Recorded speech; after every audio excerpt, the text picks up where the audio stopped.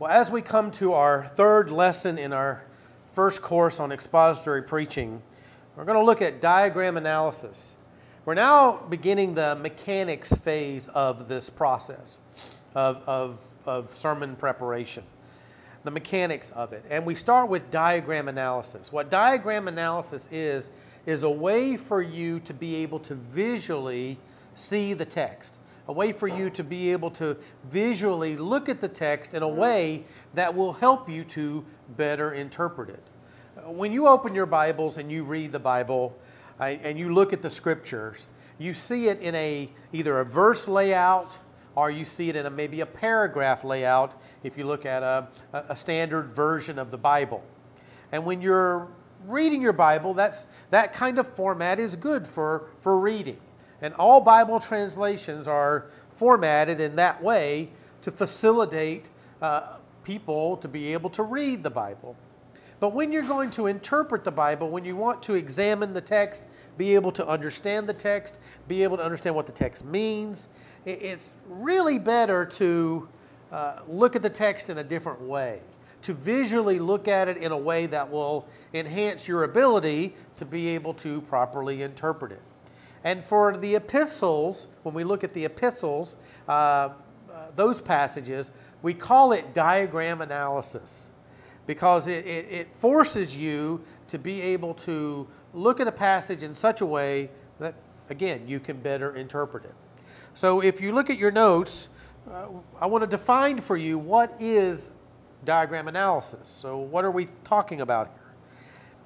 It says here is a way to break down a paragraph or what I call a preaching paragraph or a preaching section in an epistolary genre, in an epistle, to see how all the sentences and phrases relate to each other.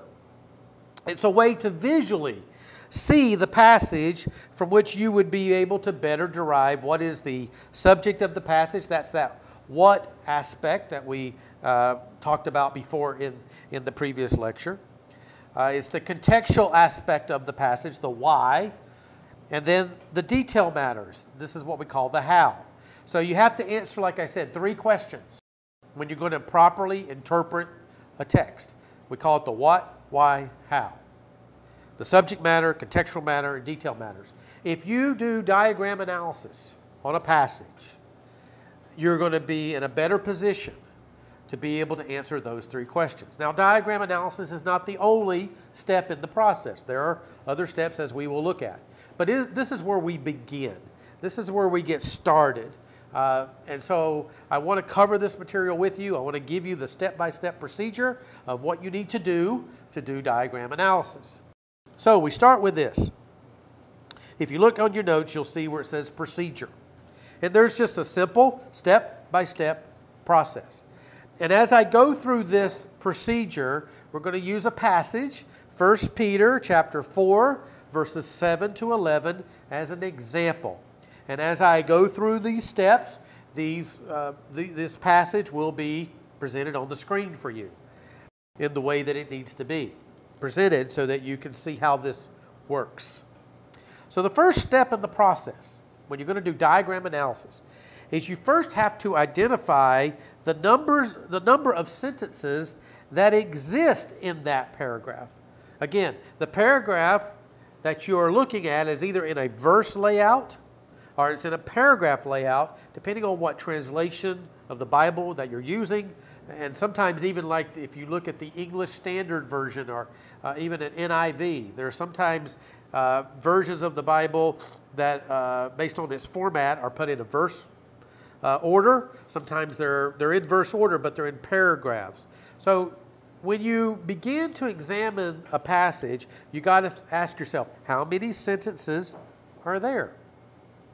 And so if you look at the example in 1 Peter chapter 4 verses 7 to 11, you will see that the way I've broken it, broken it down is I'm looking for the period markers. Wherever I see the dot for the period, that is the end of a sentence. So when I look at 1 Peter chapter 4, verses 7 to 11, I'm finding one, two, three, four, five, six sentences. I have six period markers. And so what I want to do is divide those so that visually one sentence is separated from another. Now, after I do that, then the next part of this is that I need to divide that sentence, each sentence, into its identifiable phrases within each sentence by placing each one on a separate line. So I'm going to break the sentence into smaller pieces. That's the goal here, is to break the sentence down into smaller, manageable units, what I call phrases. Uh, sometimes the phrase could be a series of words, sometimes it may only be one word, but it's, it's identifiable phrases. So if you look at the first sentence here, you'll see that I have broken it down into four various phrases, and I've kept them in the order in which they appear in the text. So, sentence number one the end of all things is at hand. The end of all things is at hand. Therefore, be self controlled and sober minded for the sake of your prayers. Now, what you see here is at the end of the phrase, the end of all things is at hand, we have a colon. And when we have a colon, that tells me that that's, that's a break. So I've kept that statement by itself, that phrase by itself. So I've divided it there. The word therefore, that is, uh, we'll learn what that is in a little while, but the word therefore is separated. And then the, the words be self controlled and sober minded, that is a self contained unit of thought there. The idea of for the sake of your prayers. The word for, F O R, is a, is a word that helps me to see that that's a separate phrase. Now, these words are all connected together in a sentence. But what we want to do is begin to divide that sentence into smaller units of thought, smaller units of construction, so that we can begin to work with it, begin to understand the relationships of that sentence and how the words and the phrases relate to each other within that sentence. If we look at sentence number two, above all, we put that on a separate line. And then the next phrase, keep loving one another. That's another phrase that exists. And then the word earnestly. And then the words, since love covers a multitude of sins. So I've divided it down into smaller, manageable units with, uh, uh, of each of those sentences. And then the third sentence, show hospitality. Then on the next line, to one another. And the next line, without grumbling because these are self contained units. So we begin with that. We begin with defining or identifying how many sentences are in the paragraph to begin with. And then within each paragraph, what we do is we break each sentence down into smaller sections, smaller units of thought, uh, smaller grammatical units. And so there's, there's not a, there's kind of a, it's a kind of a science and an art to it. You'll get the feel for it as you begin to examine verses in the text. You'll begin to get a feel for how you divide those uh, phrases down into smaller units of, uh, of, of grammatical constructions or phrases, so to speak. Now I'm going to skip sentence number four and sentence number five and six because we're doing the same thing. But you can see those on the screen as well. Sentence number four is a very large sentence. Uh, there's a lot of phrases in that sentence, and you can see that breaking it down or breaking it down into, again, it's more manageable units of thought. And, and then for sentence five and six, the last sentence is just one word, but it does have its own period, so we kept it as a separate sentence. Again, this is the starting place for diagramming, is that you break the sentence down into smaller units of thought and smaller connections. Now, the next step in the process is once you've broken each sentence down into smaller units, then you want to identify which phrase within each sentence. So you got to take it sentence by sentence which phrase within the sentence would be the main phrase. And, and I label that MP for main phrase. So when you begin to look at each of those areas, each of those phrases that you've, you've isolated, you want to ask yourself which one is the main phrase. And when I look at the sentence number one, for example, I have the four phrases the end of all things is at hand, the word therefore, uh, the phrase be self controlled and sober minded, and the phrase for the sake of your prayers. Now, how am I going to determine which one of those phrases is the main phrase? Well, the main phrase contains the sentence main verb. That's something that you want to look for. What is the main verb? Now, other phrases may have verbs in them or a verbal idea, an action word. A verb is an action word. But the main phrase has the sentence's main verb in it, and that phrase seems to be able to stand on its own. Uh, it, it, it, it seems to grammatically stand on its own. So, for example, when I look at sentence number one, I see the phrase, the end of all things is at hand. Now, that definitely does have a verb in it, the word is, and it can stand on its own. But as we're going to learn, the end of all things is at hand is a unique phrase. And we'll learn that in the next step. For now, I'm just going to label it as a subordinating phrase. If it's not a main phrase, you label it a subordinating phrase, which that's in, I put down SP for that. So I'm going to label it a subordinating phrase, and there's a reason for that. Okay, the next word, therefore. That definitely has no, no verbs in it. There's no verbs in that phrase. So it's, it's definitely a subordinating phrase. The next one, be self controlled and sober minded. Now there's two verbal ideas self controlled, sober minded, those are verbs. And actually, this is the sentence's main verbs because the next phrase, for the sake of your prayers, does not have any verbs in it. So the third phrase of the four is the main phrase. So I'm going to label that MP, main phrase. And the other phrases I will label as subordinating phrases. Let's look at number two, the sentence number two. Above all. There's the first phrase. Definitely there's no verbs in there, so it's a subordinating phrase. Keep loving one another. Ah, now we have a verbal idea, we have an action idea.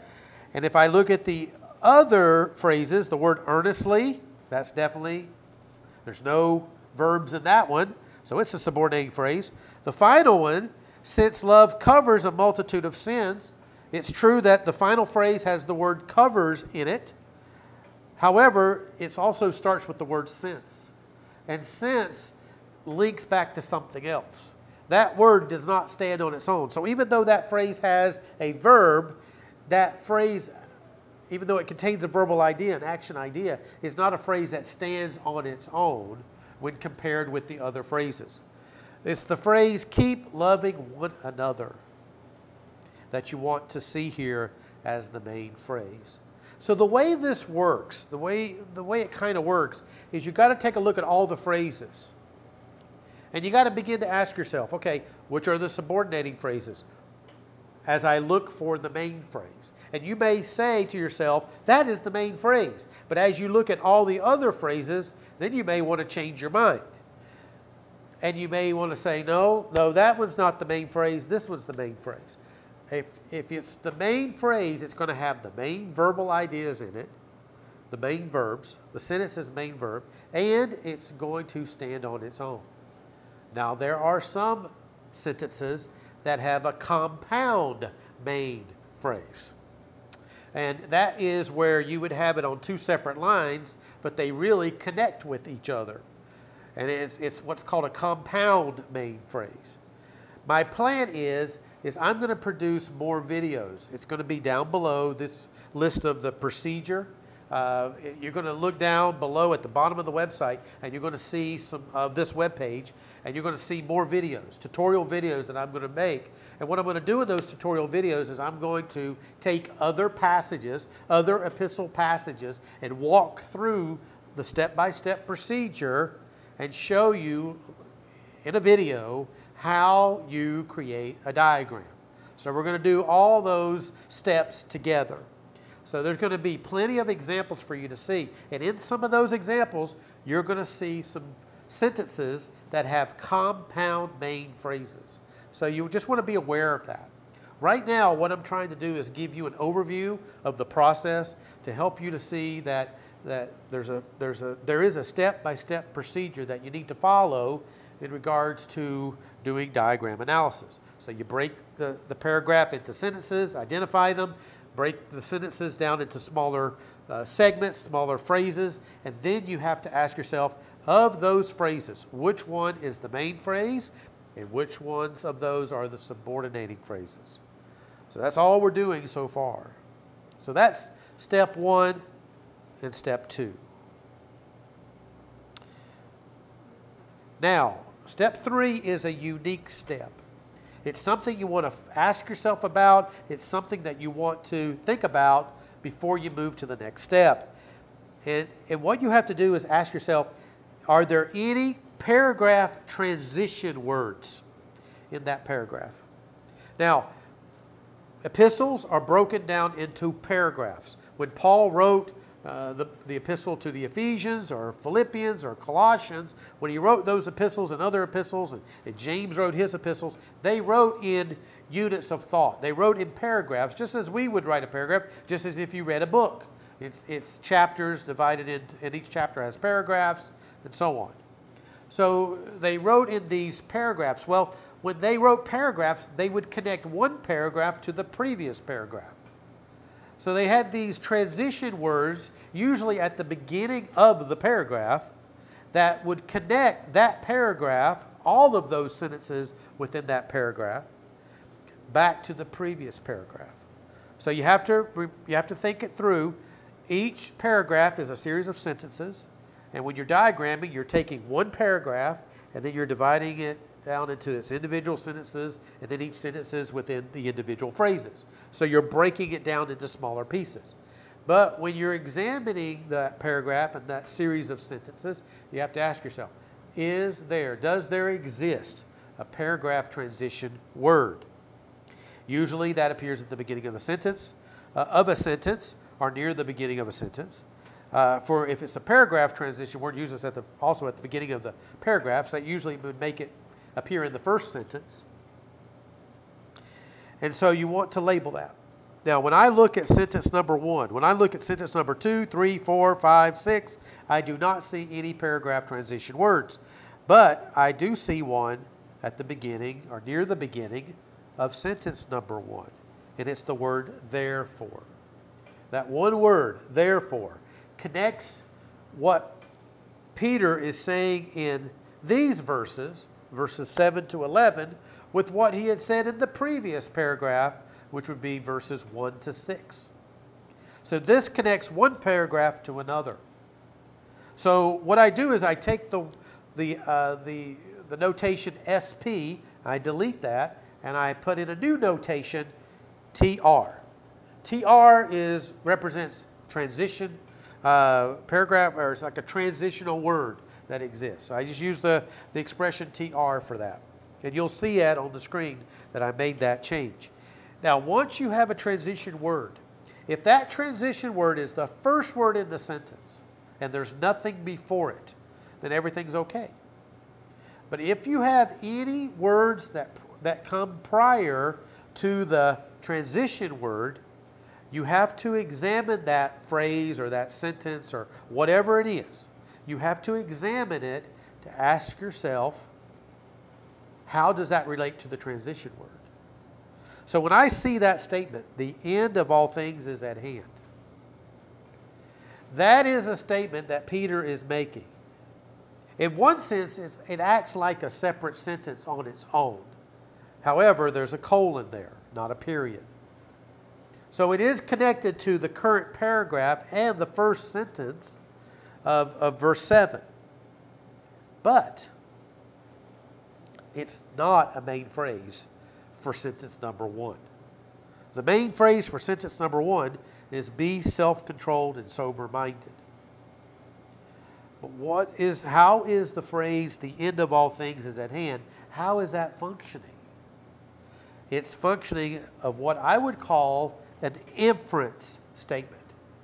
And I label it, I take the SP away from that one, and I label it INFS, inference statement. You say, why am I doing this?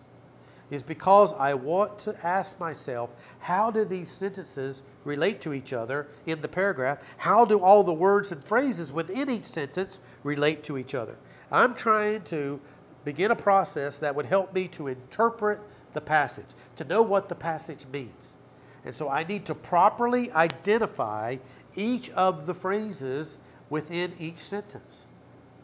And most of these are main phrases or subordinate phrases, right? You see a lot of MP there, you see a, a lot of the SPs, you see those notations, but you may find that there are uh, transitional words, paragraph transitional words, and inference statements. In this particular example has both. So it's a good example to use to kind of get you to think about those things because you need to properly identify each phrase, either a subordinate phrase, main phrase, a transition word, or inference statement. Now, you're not going to have an inference statement unless you have a transitional word. And the inference statements are going to be before that, not after that. So you have to remember that. You're going to have some paragraphs that may only have a transitional word uh, and no inference statements. But you can't have an inference statement without a transitional word. Usually, I won't say that's in every case, but usually that's the way it works. But then you may have some paragraphs without any par uh, transitional words and without any inference statements.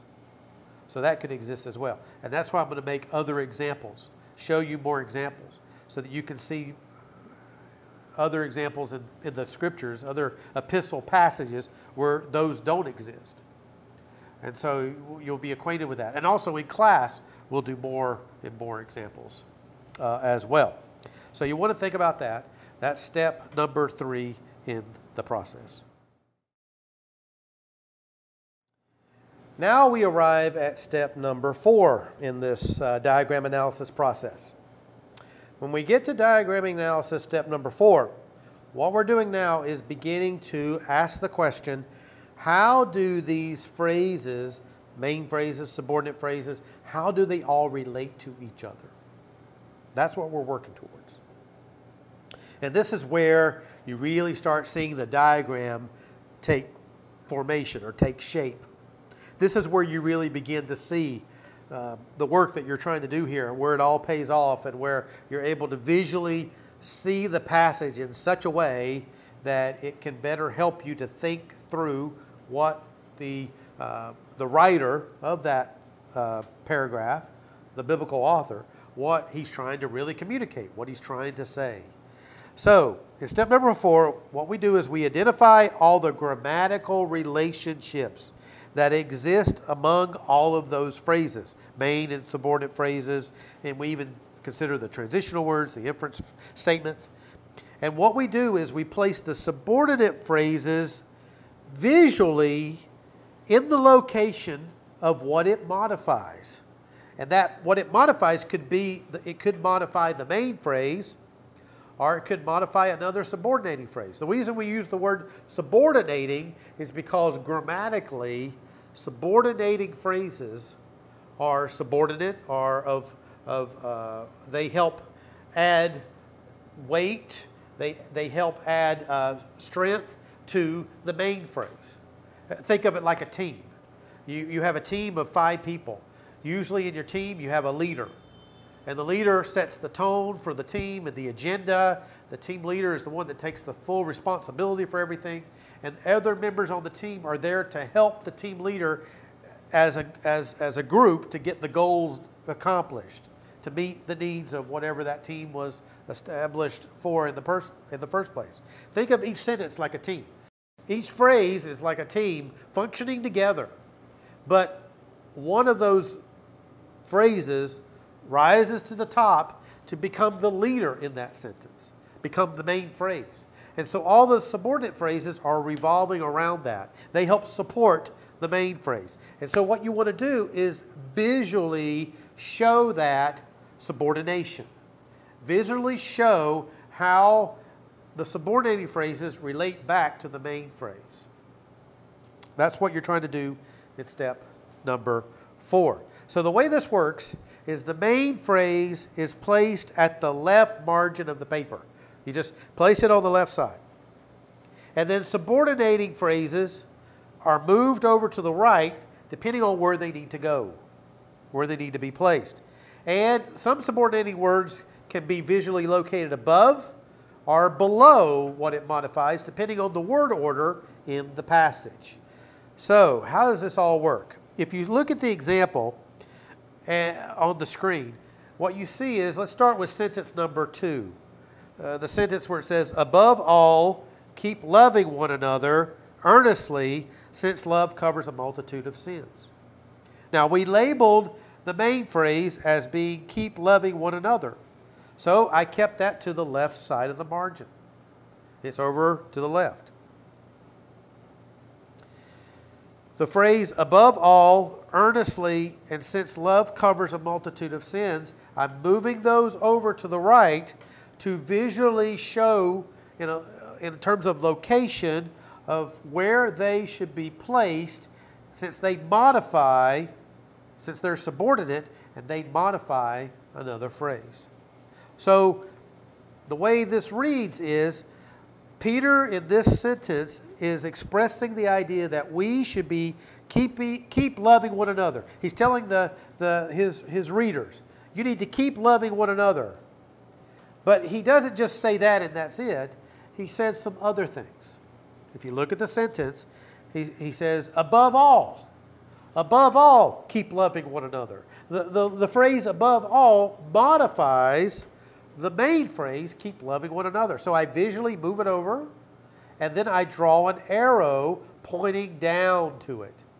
And I draw the arrow from the phrase above all, I point it to the main verb of that main phrase. It's the verbal idea is what I point it back to. And then the word earnestly. He says, above all, keep loving one another earnestly. So the word earnestly modifies, it's subordinate to the phrase, keep loving one another. And then the final phrase, since love covers a multitude of sins.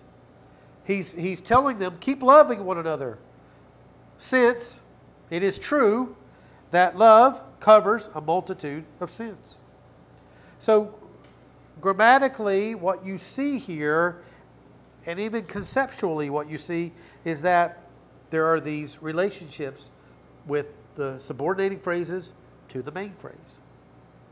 And the arrows are pointing from all three phrases back to the main phrase. And you see how uh, these phrases relate back to the main phrase, or these subordinating phrases relate back. Look at sentence number three. Here's another easy one to look at, and it's very clear. Peter makes another command show hospitality. So he tells the, his readers, you need to be ones who show hospitality. Well, how do you show hospitality? To one another. So the phrase to one another modifies the word hospitality. Remember, to one another is a phrase that does not stand by itself. It does not stand by itself. It modifies something else. It modifies the word hospitality.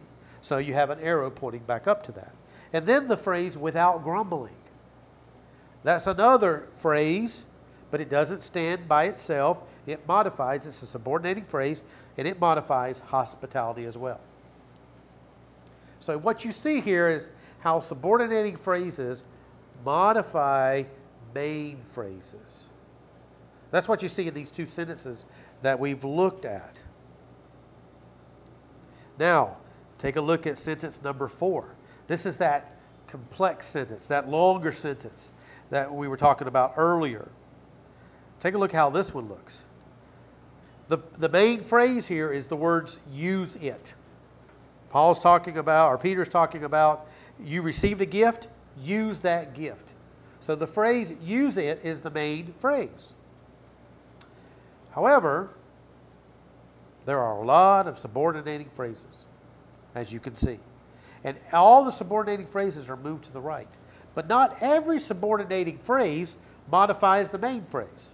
Some subordinating phrases modify another subordinating phrase, which links back to a main phrase, or maybe to another subordinating phrase. You can see the arrows. What the arrows do is they visually show you the path back to the main phrase. So, for example, the phrase, as each has received a gift. That definitely, that phrase definitely modifies the word use it, or that verbal idea, that main phrase. To serve one another. Again, it's a subordinating phrase that modifies the word use, USE. As good stewards of God's varied of God's varied grace. That phrase also looks back, modifies the word use for use it. Now, when you look at the phrase way below, in order that God may be glorified, that is a separate subordinating phrase, and that phrase modifies use. But take a look at some of the others.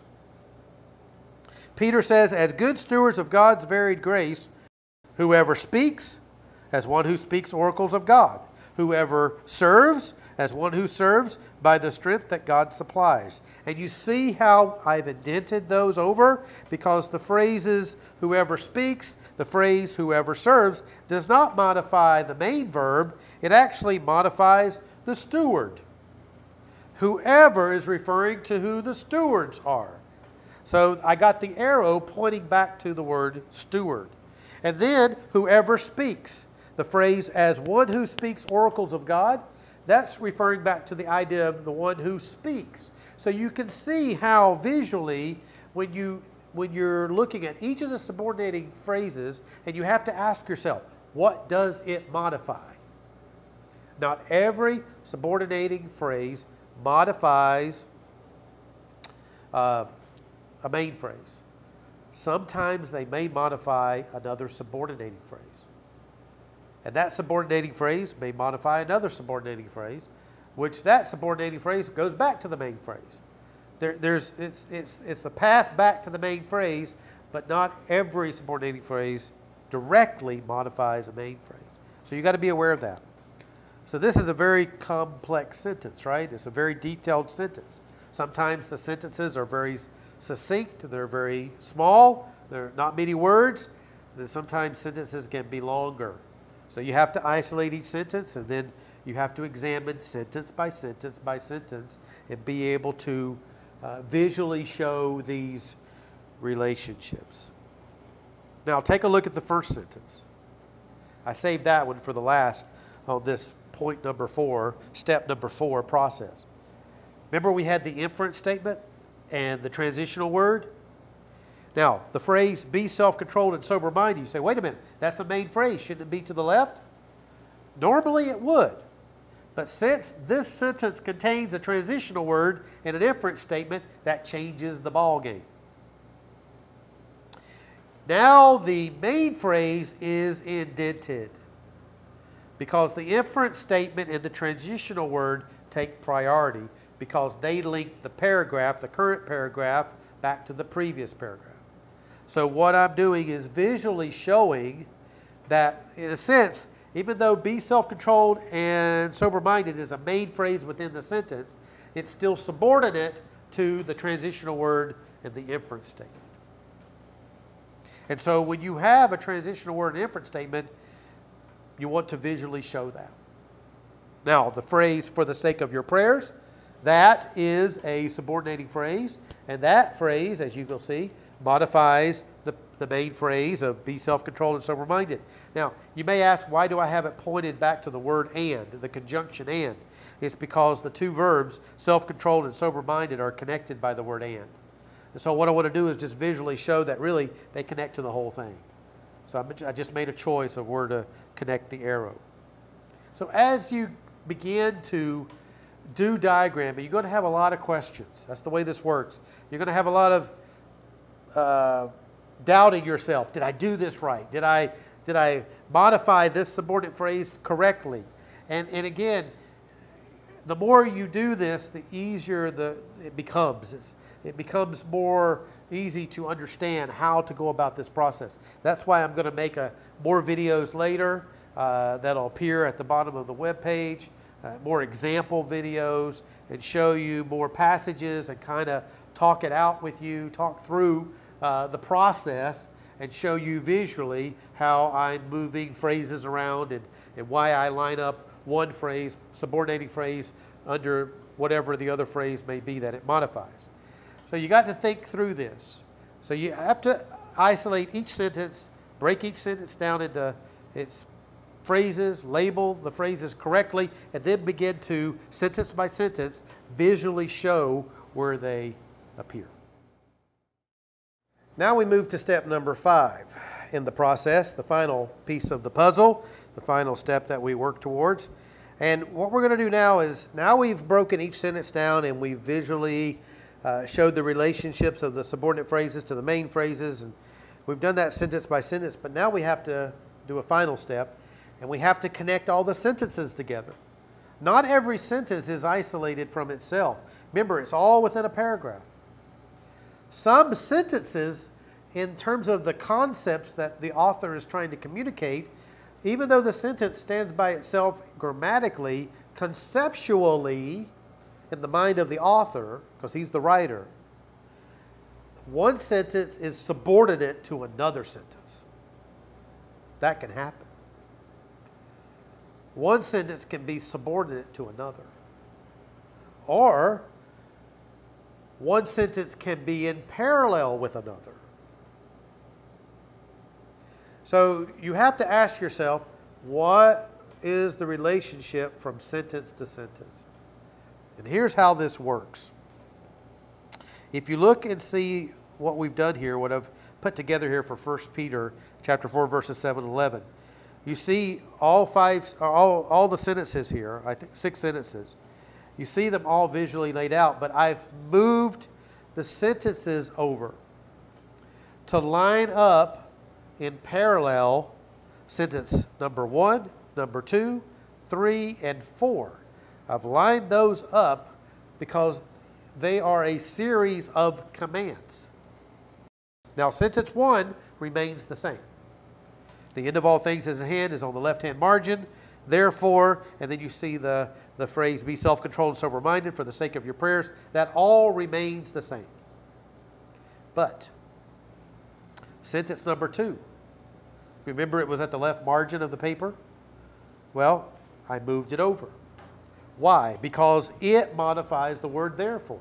And what you do is you connect when you're when you're establishing these conceptual relationships and modifying one sentence to another.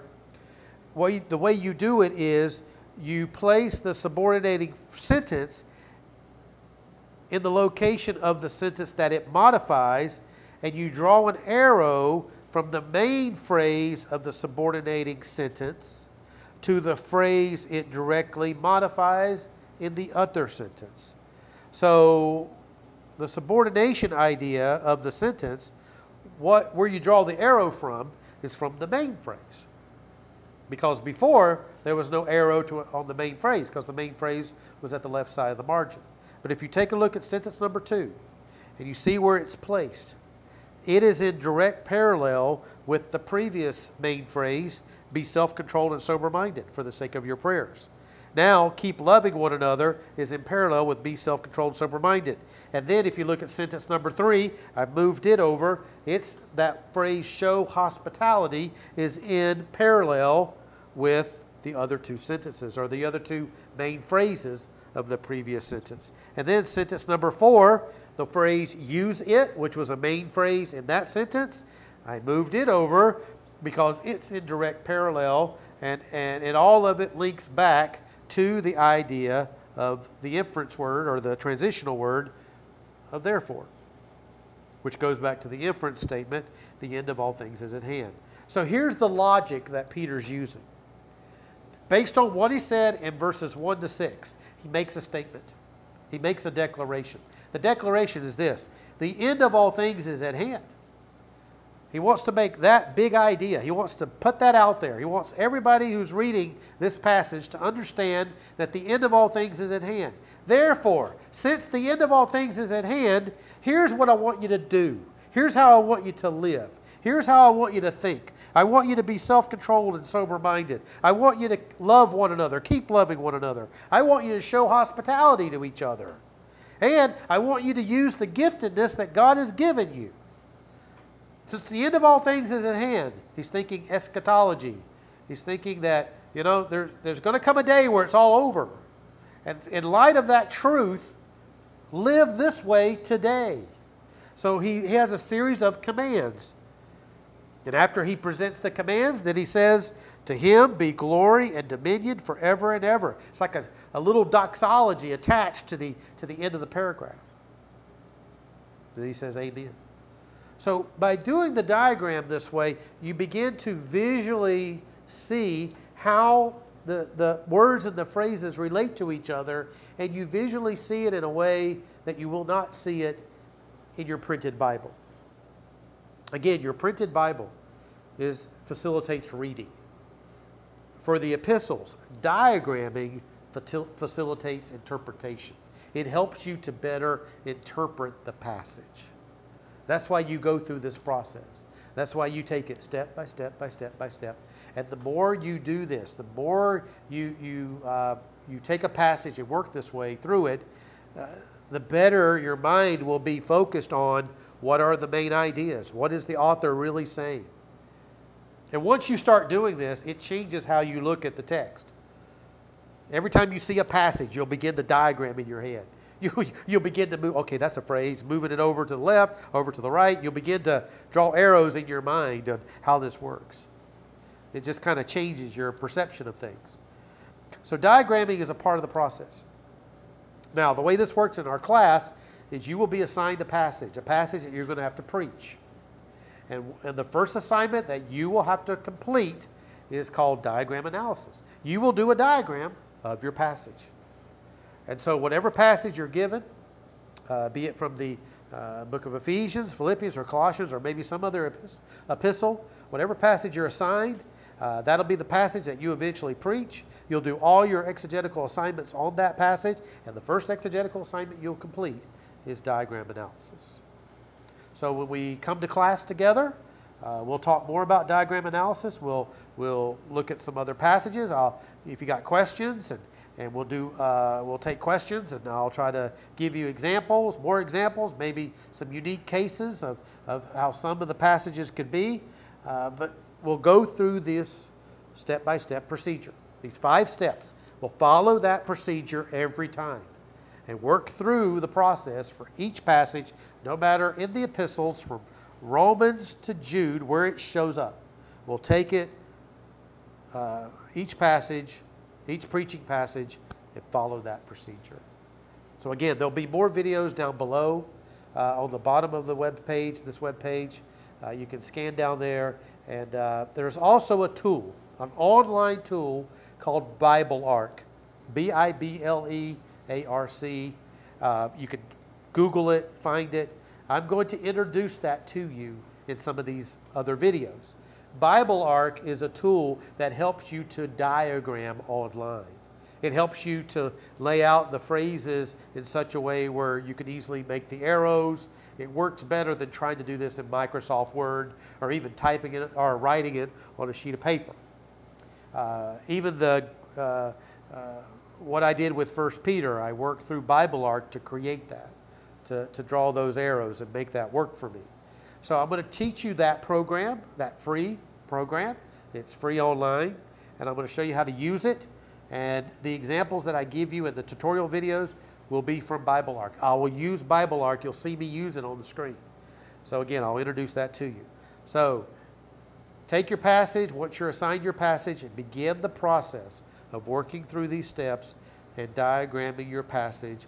Bring your passages to class, and we can discuss those, and we can work through those. I'll give you even some time, hopefully, class that you can spend some time actually working on it. Uh, so uh, that'll be a good thing. So anyway, hopefully this has been helpful, and we'll begin the process of doing more diagramming. We're going to be doing diagramming uh, for the whole first class. We're going to be uh, this first course. We're going to be doing a lot more diagramming week by week by week. So anyway, take care, and we'll see you in the next lesson.